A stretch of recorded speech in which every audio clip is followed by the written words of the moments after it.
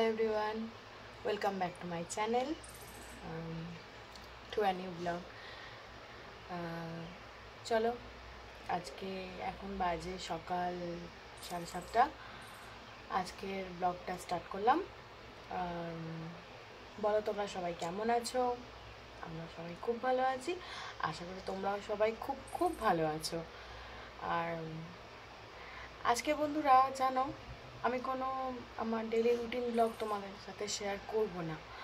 আজকে আমি ভাবছি একটু কাজটা ছেড়ে নিয়ে তোমাদের সাথে একটা গল্প বলা যায় না, একটা সত্য কাহিনী শেয়ার করব। তোমরা দেখ শুনবে, শোনার পর কেমন লাগছে আমায় বলবে। আসলে কি জানো তো, আমি যখন এই বাড়িতে বিয়ে হয়ে আসি তো তারপরে আমার শাশুড়ি মার মুখ থেকে আমি বহুবার এই সত্য কাহিনীটা বাস্তবায়িত আজ, সেটা তোমরা আমার গল্পটা শুনলে বুঝতে পারবে। আমি বহুবার আমার শাশুড়ি মায়ের মুখ থেকে শুনেছি। এছাড়া পরে আমি গল্প মানে গ্রন্থে পড়েছি, মহারাজের মুখ থেকেও শোনা সব কিছুই মানে পরে পরে শুনেছি, কিন্তু প্রথম আমার শাশুড়ি মার মুখ থেকে অনেকবার শুনেছি কথাটা। তো ভাবলাম আজকে আমি তোমাদের সাথে সেটা শেয়ার করব। আজকে কোনো রুটিন ব্লগ তোমাদের সাথে আমি শেয়ার করব না। বন্ধুরা তোমাদের বলে রাখি তোমরা না কেউ স্কিপ করবে না। প্লিজ একটু সময় নিয়ে আমার পুরো গল্পটা একটু শোনার চেষ্টা করবে। আমার মনে হয় তোমাদের ভালো লাগবে। তো চলো এরপর একটু কাজ টাজগুলো করে নিই তারপর আমি তোমাদের সাথে একটু গল্প করতে বসবো। ঠিক আছে? Hello everyone welcome back to my channel আচ্ছা বলো বন্ধুরা, তোমরা সবাই কেমন আছো? আশা করি তোমরা সবাই খুব ভালো আছো আমরা সবাই খুব ভালো আছি। আচ্ছা তোমাদেরকে না, আমি আজকে আমার ডেলি রুটিনের কোনো ব্লগ শেয়ার করছি না। আজকে আমি তোমাদের সাথে একটু বলতে পারো, গল্প করতেই বসেছি। কিসের বলো তো? সামনেই রথযাত্রা। আমি তোমাদের সাথে জগন্নাথের আজ একটু গল্প করব। মানে আমি তোমাদের সাথে শেয়ার করব গল্পটা। বলতে পারো, এটা হচ্ছে জগন্নাথের লীলা কথা। একদম বাস্তবায়িত সত্য কথা। তোমরা এসে আমি যে গল্পটা বলব, তার মানে কাহিনী বলতে পারো। মানে অমৃত লীলা কথা জগন্নাথের। আমার কথাগুলো শোনার পর তোমরা এসে দর্শন করেও যেতে পারো। তো শুরু করছি বন্ধুরা। আজকে আমি কি বলতে চাইছি শোনো? তোমাদেরকে আমি আগের দিন ব্লগে ভিডিওয়ে বলেছিলাম যে আজ স্নান যাত্রা হয়ে গেল, এবার আর পনেরো দিন পর রথযাত্রা আসছে, আমাদের খুব আনন্দ, তাই জগন্নাথের মাসির বাড়ি। কথাটা আমি বলেছিলাম, তোমরা নিশ্চয়ই শুনেছো। তো সেই সম্পর্কেই আমি তোমায় বলব। আমাদের এই শাওড়াফুলি বৈদ্যবাটি স্থিত নিমাই তীর্থ যে গৌরিয়া মঠ, তোমাদেরকে আগের দিন বললাম, আমাদের এখানে। তো ওই মঠের জগন্নাথ, বলদেব, সুভদ্রা মহারানী কৃপা করে আমাদের এই অধমের গৃহে আসেন রথযাত্রার দিন। নয় দিন অবস্থান করেন জগন্নাথ, বলদেব, সুভদ্রা মাইয়া। সেই ঘটনাকে কেন্দ্র করেই কীভাবে কি হলো সেইটাই আমি তোমাদের সঙ্গে আজকে শেয়ার করতে বসেছি। তোমাদেরকে আমি গুরু মহারাজের ছবি দেখিয়েছি। আমি যখন ব্লগ করি, তোমরা নিশ্চয়ই দেখেছ। তো আর আগের দিন ব্লগে বললাম যে আমাদের হিমায়তীর্থ গৌরিয়া মঠের যিনি ইনচার্জ ভক্তিবেদান্ত নিরীহ মহারাজ, ওনার তত্ত্বাবধানেই আমাদের মঠ পরিচালিত হয়, এই সাওড়াফুলির মঠ নিমাই তীর্থ গৌরিয়া মঠ। তো ওনার সঙ্গেই জড়িত কি, কয়েকটি কথা আমি তোমাদেরকে শেয়ার করছি। তো ওনার মুখেই শুনেছি এবং আমাদের যে পত্রিকা বের হয়, আমাদের মূল মঠ, দেবানন্দ গৌরিয়া মঠ থেকে নবদ্বীপে। ওখান থেকে গ্রন্থ প্রচারিত হয়। তো তোমরা কেউ কালেক্ট করলেও করতে পারো। তোমরা নিশ্চয়ই অনেকে জানো, আমি জানি। যাই হোক, তো ওই গ্রন্থেও পড়েছি আর মহারাজের শ্রীমুখ থেকে আমরা শ্রবণও করেছি। জগন্নাথ কীভাবে এলো? এটাই আমি তোমাদেরকে এখানে আজকে শেয়ার করব। তো এরকমই এক, এই যে গেল স্নান যাত্রায় শুনেছি স্নান যাত্রার দিন মহারাজ গঙ্গা স্নানে গেছেন। তো গঙ্গা স্নানে গেছেন। তোমরা নিশ্চয়ই অনেকে জানো, এখানে নিমাই তীর্থ ঘাট আছে। যেখান থেকে বাবা তারকনাথের মাথায় জল নিয়ে যাওয়ার জন্য সবাই এসে স্নান করে জল নিয়ে যায়। তো মহারাজ গেছেন যথারীতি ওই ঘাটে স্নান করতে। তো ওই ঘাটে অনেক ভিড় বলে আমাদের মঠের তখন কোনো ঘাট ছিল না। অল্প করে মানে সামান্য একটু ঘাটে নামার মতো বাঁধানো ছিল এরকম। তো ওই ঘাটে অনেক ভিড় বলে মহারাজ আমাদের মঠ লাগোয়াই একটু সামান্য করে নামা, গঙ্গায় নামা যায়, এরকম একটু ব্যবস্থা করা ছিল। তো মহারাজ ওখান থেকে ফিরে এসে তো এই ঘাট দিয়েই গঙ্গা স্নানে নেমেছেন। মহারাজের শ্রীমুখ থেকে যতটুকু আমার শোনা তো তখন হয়েছে কি মহারাজ একটা ডুব দিয়েছেন। যথারীতি গঙ্গা পূজা করে গঙ্গা দেবীকে প্রণাম করে নেমে মহারাজ একটা ডুব দিয়েছেন। তো অনেক পানা হয় না? পানা জলে ভেসে আছে মহারাজের হাতে এসে একটা ঠেকেছে। তো মহারাজ সেটাকে সরিয়ে দিয়েছেন। দিয়ে আবার ডুব দিয়েছে। তখন মহারাজের প্রায় কাঁধ বরাবর একটু আবার ঠেকেছে। একটা কিছু ঠেকছে। তো মহারাজ ভাবছে, কি ঠেকছে? সরিয়ে দিই। বলে, আবার সরিয়ে দিয়ে এবার তিন নম্বর ডুবটা মহারাজ যেই দিয়েছে। তো তখন দেখে মহারাজ বারবার যেটাকে সরিয়ে দিচ্ছিল হঠাৎ মহারাজের ডান কাঁধে একেবারে মানে বলতে পারো চড়ে বসেছে। এবার মহারাজ তখন এবার কিছু একটা অনুভব করেছেন। যে কি ব্যাপার হলো? তিন নম্বর ডুব দিয়ে যখন স্নান এবার উঠছেন, তো উনি দেখলেন যে কিছু একটা কাঁধে চেপে বসেছে। তো উনি তখন আর কিছু করেননি। ওটাকে হাতে জড়িয়ে ধরেই উনি উঠছেন। তখন ওনার সম্বিত ফিরল, ওনার মুখ থেকে শোনা যে হঠাৎ উনি একটু ভালো করে এবার চোখ খুলে দেখার মতো অবস্থা আর কি। দেখলেন যে এটা কি দেখি তো? লাল সালুতে মোড়া। উনি ভেবেছেন যে এ তো জগন্নাথ।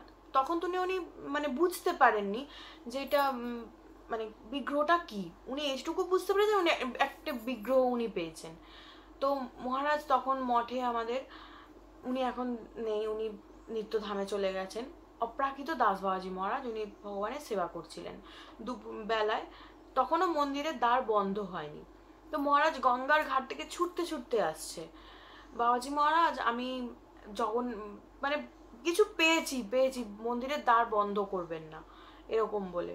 তো যখন মহারাজ আমাদের মঠের ভেতর এসে, তো বাবাজি মহারাজের হাতে দেন যেটা আমি পেয়েছি গঙ্গার ঘাট থেকে, তো তখন মহারাজ ভেবেছিল জগন্নাথ। এবার বাবাজি মহারাজ যখন ওনাকে, এবার উনি হাতে নিয়েছেন, নিয়ে এবার লাল সালুতে মোড়া খুলছেন, তখন দেখলেন যে না, তখন বাবাজি মহারাজ বললেন যে না, এটা জগন্নাথ নয়। তিনি দর্শন করলেন, ওটি বলদেব প্রভু ছিল। তো সে তো আনন্দ আর ধরে না। এর সঙ্গে আরও একটা কথা বলে রাখি বন্ধুরা। আমি মহারাজের কাছ থেকেই শুনেছি বা বই গ্রন্থে পড়েছি, যখন মহারাজ বলদেববাবুকে নিয়ে এসছেন মঠে, তারপরেই দেখা যায় একটি বিষধর সর্প মঠে তারপরেই এসে উপস্থিত। এবার এরপরে একটু কথা বলে রাখি তোমাদেরকে। ভালো লাগবে শুনলে। আমি তোমরা আমি গুরু মহারাজ আলোক্য দেখেছ। তৈলাপ্রবিষ্ট ভক্তিবেদান্ত বামন গোস্বাই মহারাজ। মহারাজ, তখন গুরু মহারাজ ভুবনেশ্বর মঠে, জানো? মানে পুরীতে না, ভুবনেশ্বরে। ভুবনেশ্বরে আমাদের একটি মঠ আছে, শাখা মঠ। তো মহা, গুরু মহারাজ তখন ভুবনেশ্বরে অবস্থান করছেন। তো তখন গুরু ভক্তিবেদান্ত নিরীহ মহারাজ গুরু মহারাজকে ফোন করেছেন মহারাজ, আমি এরকম গঙ্গা স্নানে গিয়ে পেয়েছি। তো তখন, না, তখন যখন ফোন করেছেন, তখন গুরু মহারাজ তো ফোন ধরেন না, ওনার সেবকরা ফোন ধরেন। তো তখন হয়েছে কি সমস্ত কথা নিরীহ মহারাজ যখন ওনার সেবকদের বলেন, তখন ওনারা বলেন, আরে, এখানে গুরু মহারাজ তো এক সপ্তাহ আগেই পাঠে, যখন উনি পাঠ করতে বসেন মানে গুরু মহারাজও সাক্ষাৎ সেই মহাজন একদম। তো উনি এক সপ্তাহ আগেই নাকি ওখানে মানে পাঠে বলে দিয়েছেন, খুব শীঘ্রই আমাদের কোনো শাখা মঠে বলদেব প্রভু আসছেন। তখন মানে আমার এখনই তোমাদের বন্ধুরা বলতে বলতে গায়ে কাঁটা দিচ্ছে। তখনই মানে নীরব মহারাজও তো ওই একই অবস্থা বুঝতেই পারছ। তো তখন গুরু মহারাজের সঙ্গে কথা হয়। গুরু মহারাজ বলেন যে, তুমি বলদেব প্রভুকে নিয়ে চলে আসো। এখানে আমি পুরীতে জগন্নাথ আর সুভদ্রা দেবী বানাতে দিয়ে দিয়েছি। একেবারে বলদেব প্রভুকে নিয়ে এসো, একসাথে অঙ্গরাগ করিয়ে নিয়ে যাওয়া হবে। তো গুরু মহারাজের আদেশ অনুযায়ী মুক্তিবেদান্ত নিরীহ মহারাজ আরও ওনার সবাই আরও আছেন সেবক সবাইকে নিয়ে তখন ভুবনেশ্বর মঠ হয়ে পুরীতে যান। গুরুদেব অন্তর্যা মানে গুরুদেব সেই স্তরের মানুষ বাঙ্গসাই মহারাজ, যিনি এক সপ্তাহ আগে বলে দিয়েছেন যে আমাদের কোনো একটি শাখা মঠে বলদেব প্রভু আসছেন। আর হ্যাঁ তোমাদের যে কথাটা বলতে গিয়ে থেমে গেলাম। ওই যে সর্পটি এসেছিল তখন সবাই তো ভয় পাচ্ছে মঠে যে এত বিষধর সর্প, তখন গুরুমাজকে জানানো হয়। গুরুমাজ বলেন, ওনাকে কিছু করবে না। ওনাকে কি উনি ওই সর্পটি তোমাদের কিছু করবেও না, আর তোমরাও ওনাকে কিছু করবে না। তোমরা একটি পাত্রে ওনাকে দুধ কলা দিয়ে সেবা দাও। তো এর এইভাবে তিন দিন ছিল সর্পটি। তারপর উনি নিজেই চলে যান। গুরুমাজ সেটাও বলে দিয়েছেন, কিছু করবে না, উনি নিজেই চলে যাবেন। তো সত্যিই তাই গুরুমাজের বাক্য একদম সাক্ষাৎ। উনি তো সেই সাক্ষাৎ আমি আর ভাষায় বলতে পারছি না। যাই হোক তো এইভাবে নিরীহ মহারাজ গুরুমাজের আদেশ অনুযায়ী বলদেব প্রভুকে নিয়ে পুরীতে যায়।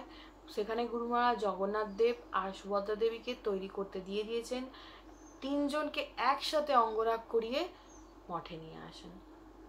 এরপর অশেষ কৃপা, অশেষ ভগবানের দয়ায় এর মধ্যেও আরও হয়তো অনেক গল্প আছে, সেগুলো থাক। আজকে আবার অন্য একদিন বলব।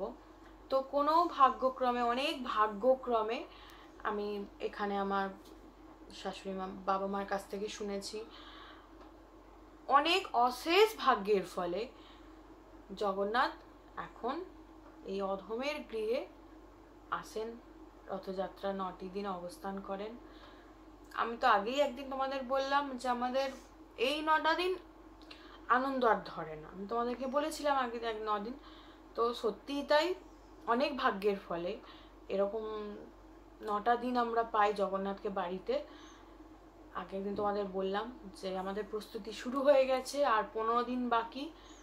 তো এই ছিল আমার আমার আর বলার ভাষা নেই।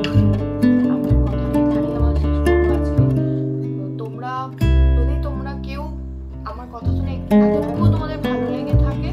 তোমরা সাউরাপুরি বৈদ্যবাটি স্থিত নিমাই গৌরিয়া মঠে এসে জগন্নাথ দেব, বলদেব প্রভু দর্শন করে যেতে পারো। আর হ্যাঁ অনেকেই নিশ্চয়ই জানো বন্ধুরা, তোমরা চাওড়াপুরিতে আমাদের গৃহে এটা জগন্নাথের মাসির বাড়ি। রথযাত্রার মধ্যে আসতেও পারো, দর্শন